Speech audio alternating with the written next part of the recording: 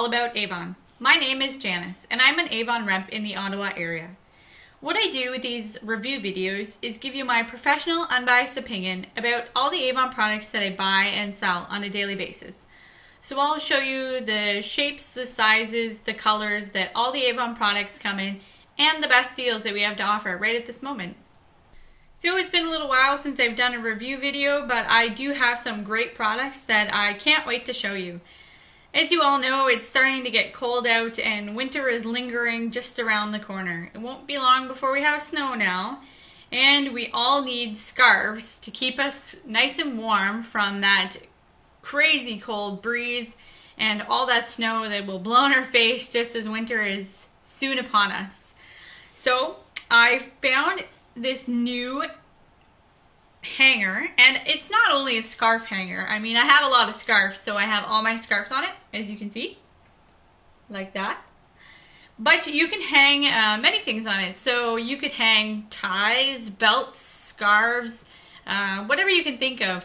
It's pretty much versatile and I'm just going to give you um, a look at it and show you how uh, how I used it as a, a wonderful little scarf hanger so here we are. If you see, uh, this is what the hanger looks like empty. So down at the bottom we have smaller holes and then in the middle we have big holes as well as on the top there's big holes. But there's sections all in between. So it's pretty versatile. You can pretty much use it as anything you want. So I happen to uh, collect scarves, I guess we can say. So I have this fun little scarf here that this is one of my favorite. And pretty much all I did was take it at the center of the scarf, bunch it into a little bunch, stick it through the hole of the hanger, just like that, and tug it through until it was about halfway, and then you just let it hang like that. Now, if you have one thing on one side that's heavier than the other, of course it's going to hang a little bit crooked, but um, that's pretty much how you use it. It only comes in one color, which is, um, I guess, a baby blue. But I mean, if you really don't like the color, once you have all scarves on it, you don't really see it anyway. Uh, my favorite thing about this hanger is that it's metal. So I have seen um, some other scarf hangers that are really cute and they have fun little designs, but they're plastic. And as you can see, it's um, my scarf is quite heavy, just one on there. And once I have all of them on there, it, it just wouldn't hold on a, a plastic hanger.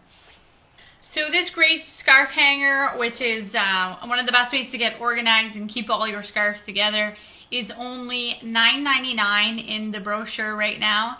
And like I said, it's metal, so, you know, it's durable. You're sure to, you'll be able to fill it up and it's not going to break. I mean, as long as whatever you're putting on, on is strong enough, uh, it certainly won't break. Hopefully your shelf won't break or whatever you put it on.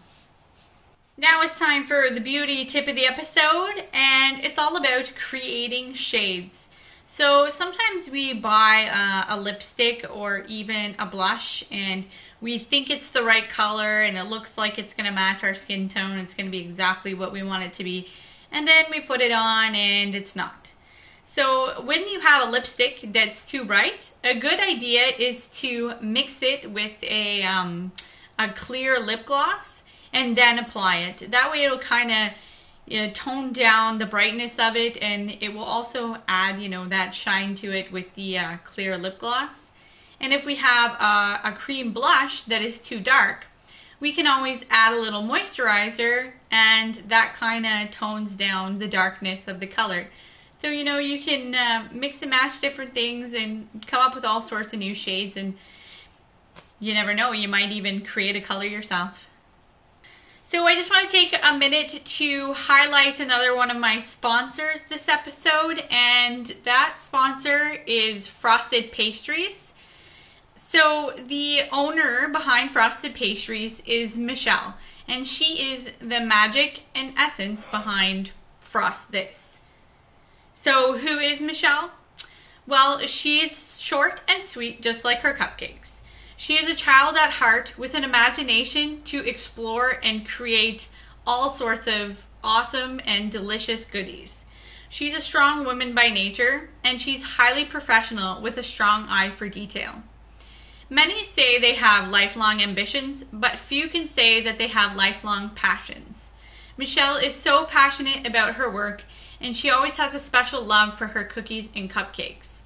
With her heart on her sleeve, she is ready to deliver the love to those in need. Her cupcakes and her pastries and her cookies, they're so fabulous. They're delicious. They have the most creative little flair to them. You can tell her, you know, just about any kind of thing that you're looking for, and she'll add that special little touch to it, whether it's butterfly cookies or Christmas cupcakes, anything goes. So make sure to go and check out her website at frostedpastries.com. And remember to keep her in mind next time you're looking for that special little treat. So that's it for this week's episode. If you have any comments and questions, make sure to leave them in the section below. My website is www.avonexpert.com and you can go there to find out about all things Avon. You can email me directly at janice at avonexpert.com if you have any questions or you want to know something more about Avon or any of the products, go ahead and let me know. Don't forget to subscribe and I can't wait to see you again next week.